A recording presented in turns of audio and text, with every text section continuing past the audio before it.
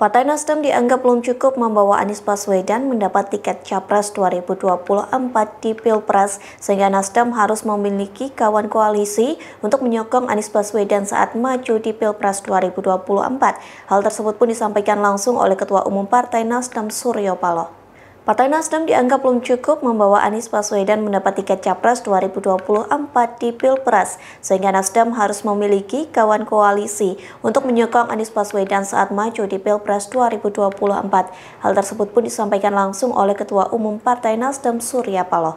Surya Paloh mengatakan Anies Baswedan baru kali ini mengajukan diri sebagai calon presiden, sehingga masih banyak PR yang perlu dikerjakan.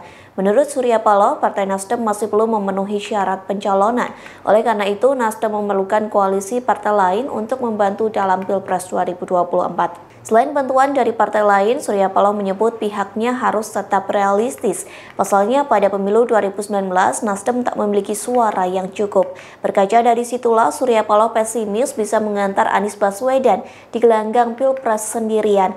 Mengingat syarat mencalonkan capres dan cawapres harus memenuhi ambang batas pencalonan presiden atau presidensial threshold 20%.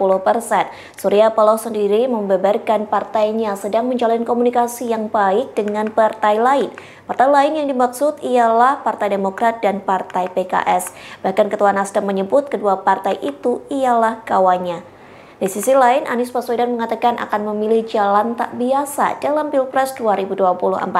Anies menyadari bahwa sebenarnya ada jalan yang nyaman dan enak untuk ditempuh, namun dirinya memilih jalan yang mendaki bersama Partai Nasdem.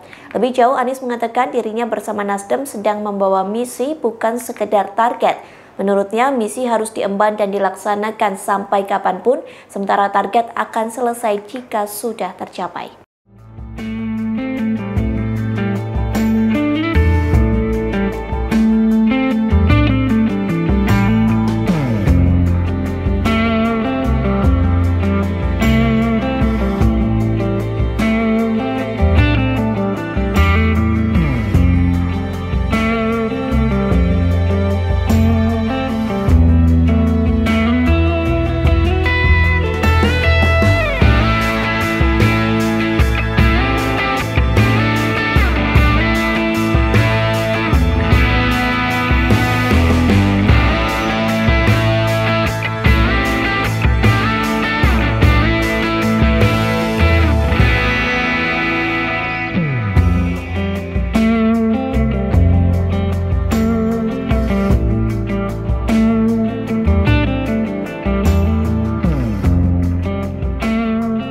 Demikian berita update terkini dan nantikan update berita lainnya hanya di kanal YouTube tribunbanten.com. Jangan lupa subscribe, like, komen, dan share.